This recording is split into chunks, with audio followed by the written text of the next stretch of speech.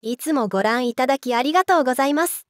今回も大谷翔平選手、ドジャースの最新情報をご紹介いたします。41号大谷翔平を先発カーショー手放しで絶賛。翔平の活躍は言葉で言い尽くせない。毎晩特別、リハビリしながら、ホームラン、打点の2冠に。米大リーグ、ロサンゼルスドジャースの大谷翔平選手は、24日、日本時間25日、本拠地、ドジャースタジアムで行われた、タンパベイレイズ戦に1番指名打者で出場し、2試合連続の41号ツーランを含む4打数2安打2打点だった。前日のレイズ戦で劇的なサヨナラ満塁本塁打と1盗塁を決めて史上最速の出場126試合目で40本塁打40盗塁を達成。一夜明けた試合で再び一発を放ち史上初の45本塁打。45盗塁。50本塁打。50盗塁へ。年間51本塁打ペースとした。これで今季成績は打率2割9分4厘。94打点に伸ばしリーグの打点王争いでマルセルオズナ外野手ブレーブスに並び主要タイトルではナショナルリーグ2冠となった。本塁打は2位のオズナに4本差をつけてキング独走。99得点。長打率6割1分9厘。OPS998 長打76もナショナルリーグトップだ。開幕から得点圏で結果を出せず打点トップを走っていた小綱とは前半戦を終えた時点で8点差があった。それでも23日同24日のサヨナラ満塁弾を放ち2試合連続の複数打点。チーム130試合目で打点トップの小綱をようやく捉えた。130試合で94打点。シーズン換算では117打点となり2005年に松井秀喜が記録した日本人シーズン最多116打点を超えるペースだ。打率2割9分4厘はリーグ4位で首位打者の大綱とは1分3厘差。40盗塁は61盗塁のエリー・デラクルーズ。レッズに次いでリーグ2位となっている。148安打もリーグ3位と大谷が躍動を続けている。クレイトン・カーショー投手翔平の活躍は言葉で言い尽くせないと絶賛している。投手のリハビリをしながら41号ツーラン。彼が史上最高の選手になる理由だ。4対5の5回。ワンアウト1塁。大谷は先発右腕。タジ・ブラッドリーの低めの変化球をすくい上げた。打球は右翼ポール際に飛び込む41号ツーラン本塁打に。一時逆転に成功。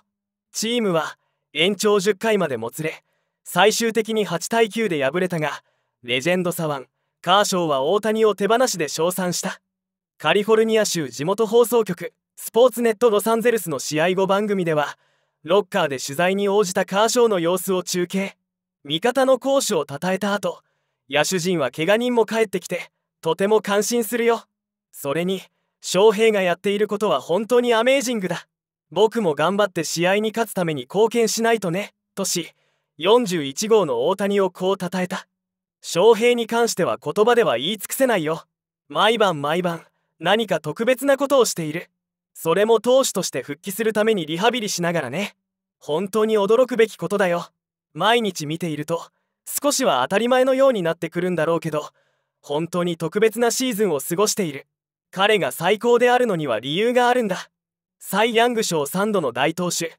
カーショーは昨オフに左肩手術を受け開幕前から60日間の負傷者リストに入っていた。7月末に復帰しこの日は5回被安打95失点だった。大谷翔平の曲芸打ち41号は本当にいいスイング。最後は右手一本。指揮官も驚き。右手一本で右翼席に運んだ曲芸打ちにデーブ・ロバーツ監督も驚き。重要な場面だった本当にいいスイングだったと賛辞を並べた。1点を追う5回ワンアウトの第3打席。タジ・ブラッドリーの外角低めスプリットに体が反応した。タイミングを外されたようにも見えたが最後は右手一本で振り抜いた。打球は右翼ポール際の観客席に着弾飛距離338フィート約103メートルは自己最短の一発だった前日には9回ツーアウト満塁の場面でサヨナラ本塁打劇的な一発で6人目の40本塁打40盗塁にメジャー史上最速の出場126試合目で到達した。一夜明けても快音は止まらず第1打席でもライト前へ痛烈な安打を運んだ。指揮官は直球ではなかったし低めの球だった。半速球のボールをうまく捉えた。低めのゾーンをうまく体を残してファウルにならずに本塁打にした。どの球が来るかわからない時に体が反応したということ。彼はいいスイングをしている。素晴らしいプレーを続けている。と技術の高さをたたえた。ただチームは土壇場の9回に追いつかれ延長10回に決勝ツーランを浴びた。救援陣が乱れての敗戦で連勝は5で止まった。今夜は投手陣が良くなかった。相手の走塁ミスでアウトをもらったが我々はきっちりと抑えることができなかった。と振り返った。大谷翔平。50本塁打50盗塁達成はできると思う。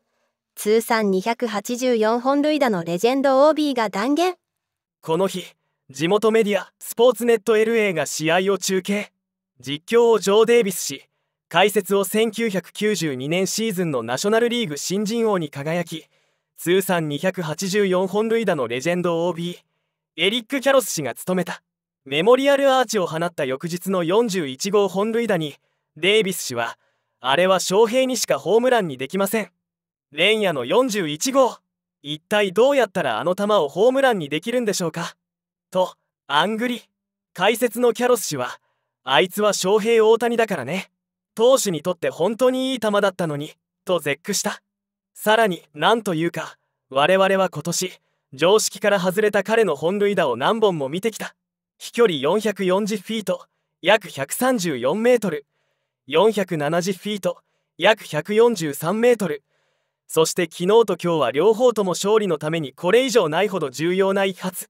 ギリギリでスタンドインだが打ち方を見てもホームランになるはずがない球なんだ。それなのにあまりにも力が強いから腕一本でスタンドに運んでしまう。もう一度言うがあいつは翔平大谷だからというのが最適な表現だろうね。たった今またも驚嘆するしかないことをやってのけたということだとこちらも呆れ返るしかなかった。試合前放送席では前日に大谷が達成した40本塁打40盗塁についての話題にデイビス氏が昨晩大谷翔平が40本塁打40盗塁を達成した。今度はみんな50本塁打50盗塁はいつ達成するんだと聞いている。彼がそれを達成できると思う？と聞かれたキャロス氏。私はできると思うと断言した。続けて自分でも気づいたんだ。次は50本塁打50盗塁を期待している。とと早くも次の偉業達成に視線が向いているとし大谷がどれほど優れているかを考えると彼が達成する素晴らしい偉業を十分に時間をかけて祝うことすらしないんだ。と矛盾について力を込めた。さらにもうすでに次は50本塁打50盗塁だもしそれを9月中旬までに達成したら次は周囲が60本塁打60盗塁を言い出すだろうと予想。これにはデイビス氏もそうですよねと共感していた。大谷翔平は非現実的。さよなら満塁弾に続く片手で放った41号本塁打に米メディア脱帽止められない。地元記者は翔平大谷は本当に異次元とお手上げの様子で活躍を伝えている。異彩の打棒に米メディアからの称賛が止まらない。地元メディアドジャースネーションのドジャース版。ノア・カムラス記者は自身の X 旧ツイッターを更新。翔平大谷は本当に止められない。異次元の選手だ。彼は MLB 史上初めて50本塁打50盗塁を達成する選手になるだろう。遅かれ早かれ成し遂げるかもしれないと綴りドジャースは全盛期の大谷を迎えられて本当にラッキーだと笑顔を見せた。また米ポッドキャスト番組ファウルテリトリーも X にて大谷は全くもって非現実的だとお手上げだった。大谷の一発でドジャースは一時逆転も9回に同点に追いつかれ延長戦の末に敗戦。それでも大谷は衝撃の打棒で本拠地を球界を震え上がらせた。米メディアジ・アスレチックのファビアン・アルダヤ記者は自身の X を更新。バランスを崩したあのスイングでどうやって打球をパーク外に飛ばすのか。私はわからない。彼のキャリアで最も飛距離が短い本塁打だなどと感嘆の声を上げている。また MLB 公式サイトのデータ部門を担当するサラ・ラングス記者も今回の片手打ちに驚きを隠せない様子で、このスイングで本塁打になったと力強く反応。さらに、米データ分析会社、 Codify Baseball は、スイングのバランスが崩れている実際の画像を掲載し、翔平大谷が41号と速報を打ち出していた。SNS 上のファンも大谷調子上げてきたな昨日のホームランからこのヒットと流れがいいね。これで大谷さん自身を取り戻してほしいな、と大谷の好調ぶりを喜ぶ声が目立った。また、崩されたスイングと思われた打球がホームランとなったことから、ファンからは錯覚を覚える人が続出した。これで入るの？この体勢でホームランなのマジか。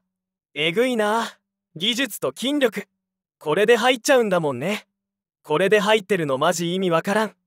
なんで崩されてホームランが打てるんだ？前日は9回にサヨナラ満塁。40号本塁打を放ち。史上6人目の40本塁打。40盗塁を出場。126試合目の最速記録で達成。2日連続で興奮をもたらした。最後までご覧いただきありがとうございます。